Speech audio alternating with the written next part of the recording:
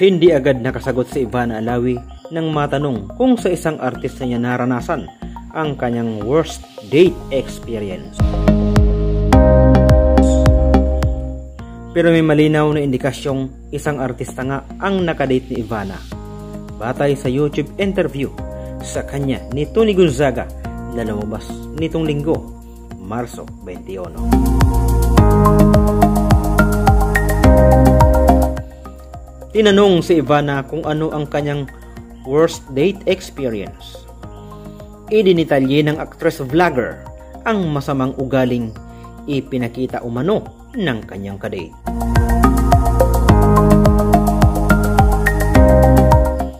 May time kasi nang sila ay kumakain daw sa isang restaurant, bungad ni Ivana.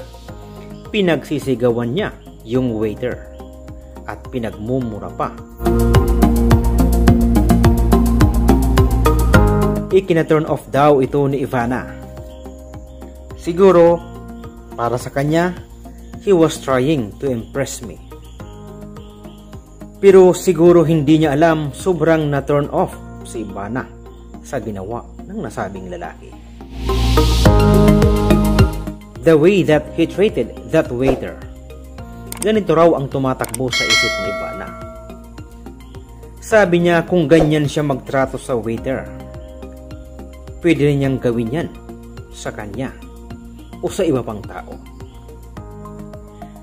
Like he could treat me, he could treat my family, sabi ni Ivana, ang lala niya. Hindi raw natiis ni Ivana ang kanyang nasaksihan, kaya nag-walk out na lang ang vlogger. Nag-walk out ako, kinausap ko yung waiter sabi ko, sorry ha, sorry. Ganon. Kasi ayaw daw ni Ivana na nakakikita siya ng ganon. Sa puntong iyon, inusisa ni Tony si Ivana kung artista nga ang tinutukoy niyang kaday. Saglit na natahimik si Ivana at sakang umiti. Thank you, sagot niya na halatang umiiwas. Umirit pa si Tony. Feeling ko artista nga talaga. Umiwas muli si Ivana. Hindi raw niya alam. Ate Tony, baka magulaan na naman sila niyan. Nasa bandang dulong bahagi ng video ang paglalahad na ito ni Ivana. Matatandaang Pinag-usapan noong Pebrero ang pag-amin ni Ivana tungkol sa hindi magandang karanasan niya sa isang TV host. Samantala sa simula ng video, pinag-usapan ni Tony at Ivana ang tungkol sa isang nakaka-turn off na experience ni Ivana sa isang celebrity. Lumalabas na karugtong ito ng kwento ni Ivana tungkol sa masamang date experience niya. Pekli ni Tony, may celebrity palang ganun. No, nakaka-turn off naman yun. Sagot ni Ivana, oo. Nabanggit pa ni Ivana na nangyari raw ang date sa isang restaurant sa Pasig City. Ayoko nang ganun talaga. Nag-walk out talaga ako, sabi ni Ivana. Pagkatapos ng date, nag-text at tumawag pa rin daw ang nakadate ni Ivana. Sabi ni Ivana, akala niya siguro na-off ako sa kanya pero hindi ko na inisa-isa na parang bastos ka magtrato ng ibang tao. Kasunod nito hindi na raw siya pinapansin ng nakadate niya. Pag nagkikita sila, didma lang, didma ha, stranger, sama ng ugali. Sabi ni Ivana. Natatawang kwent niya. Paliwanag ni Ivana hindi raw problema sa kanya kung taga showbiz o hindi ang magiging karelasyon niya. Pero ang gusto raw niya ay maging pribado ang kanilang relasyon. I like having a private relationship.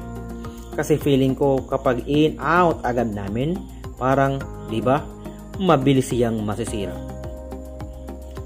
Lalo na kunwari ang lalaki affected agad sa mga bashers, affected sa mga comments. I want it to be private. I want it to be intimate na parang kami lang mas gusto rin daw ni Ivana ng Filipino boyfriend. Ayoko ng AFAM, gusto ko Pinoy, sabi ng actress. AFAM ang tawag sa lalaking foreigner. Bakit mas gusto ni Ivana ang Filipino boyfriend? Sagot niya, they are very loving and they are very caring. Most of the Pinoy are family-oriented and yun ang gusto ko. Tipo raw ni Ivana ang lalaking may magandang ngiti. Ano naman ang gusto niya sa ugali? Pag sa guys na nakakita ko na matalino, tsaka parang goal driven, yun, merong gustong gawin sa buhay. Yun ang gusto ko. So ngayon ay wala pa raw ibang idinidate si Ivana. At ang huli niyang date, tatlong buwan na ang nakakalipas. Ang tiniyak ni Ivana ay single siya ngayon at wala siyang karelasyon. So mga kachika, mga ka-charming, sana ay nagustuhan mo ang aking ginawang video. Sana'y nakapagdulot ito sa inyo ng karagdagang kaalaman patungkol sa mga buhay ng mga showbiz personality. Sa muli, mapagpalang araw sa ating lahat.